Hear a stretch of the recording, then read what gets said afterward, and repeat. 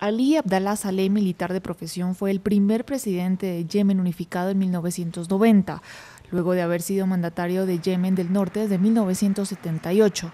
Durante 33 años, Saleh se mantuvo en el poder siendo reelegido cada cinco años a través de plebiscitos y de elecciones que la oposición yemení calificó de fraudulentas. Un año después y bajo su mandato, Yemen entró en una guerra civil entre quienes buscaban la soberanía en el sur y el gobierno de Saleh. El conflicto finalizó dos meses después, dejando al menos 8.000 muertos y dando a Saleh como ganador.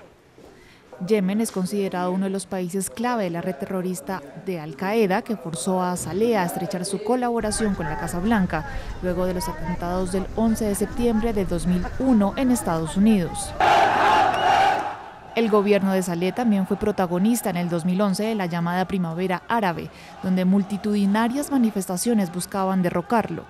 Para aquellos que buscan sentarse en el poder, les digo, vengan de forma civilizada, a través de las urnas, en las elecciones parlamentarias o las elecciones presidenciales. Luego de varios días intensos de enfrentamientos entre los seguidores de Saleh y quienes exigían su renuncia, el militar accedió a una negociación para salir del poder.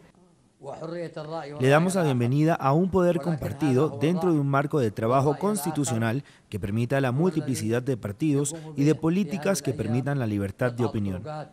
En junio del mismo año resultó herido tras un ataque al Palacio Presidencial en Sanaa por parte de las fuerzas rebeldes tribales. Para noviembre de 2011 se hizo público un acuerdo entre el gobierno de Saleh y la oposición en el que se estableció el traspaso pacífico del poder con el apoyo de la Organización de Naciones Unidas. Sin embargo, fue hasta un año después que Saleh renunció a la presidencia, dejando el poder en manos de su vicepresidente Mansur Hadi.